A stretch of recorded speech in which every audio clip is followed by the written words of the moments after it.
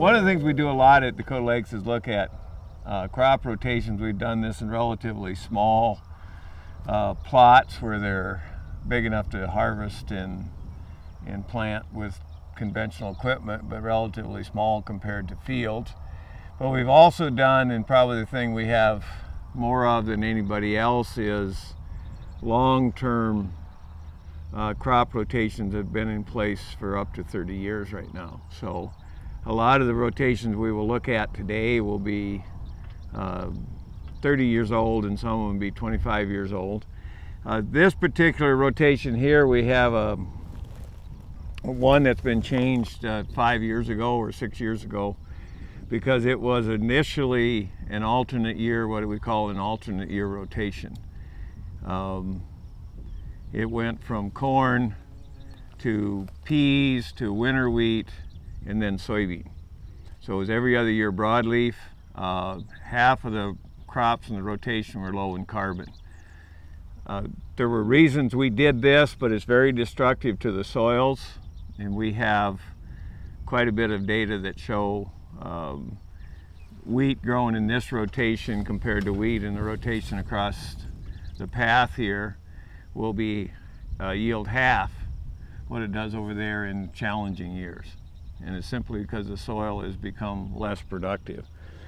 Uh, our solution to that was to add a perennial sequence and that's what our ancestors used to do is they would they would farm for a while and then uh, put it back in perennial or in the tropics they let it go back to to jungle and I was in Ghana a few years ago and that's the way they ran their farming systems and let it regain its fertility so to speak so here we're going to look at the soil. Uh, we use switchgrass as our perennial sequence. This is the last year of the switchgrass and it'll go back into an annual sequence again.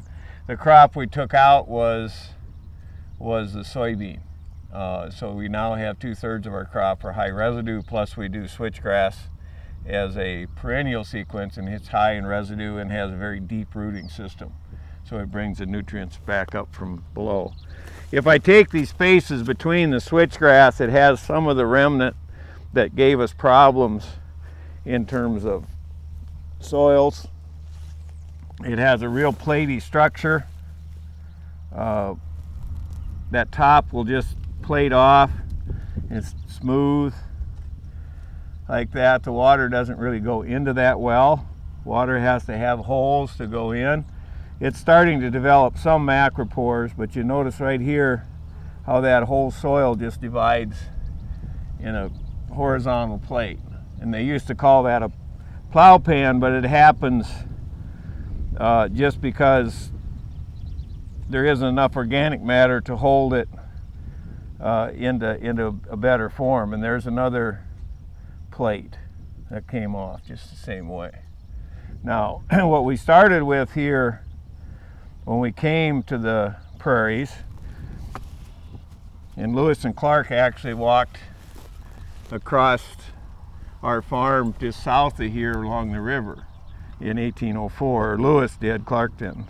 Um, by putting the switchgrass in, we, we develop a totally different type of soil structure.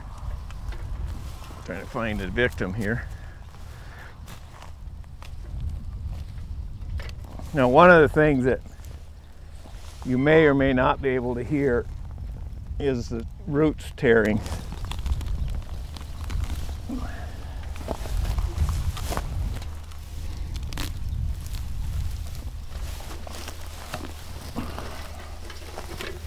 Now you see a totally different change and these roots will go six to seven or eight feet deep.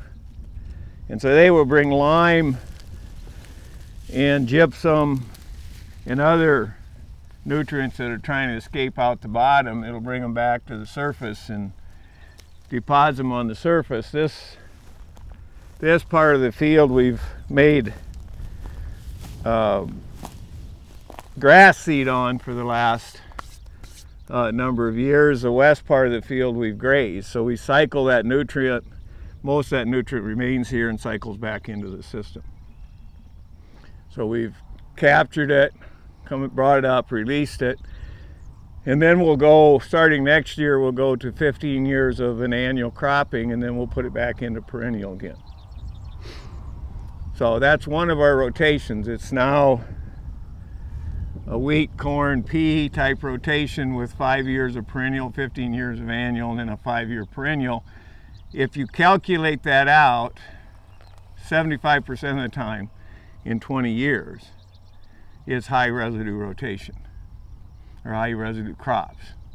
And that's, that's what we feel we need to have in this country here to maintain soil structure is at least 75 and preferably, preferably 80% high residue crop.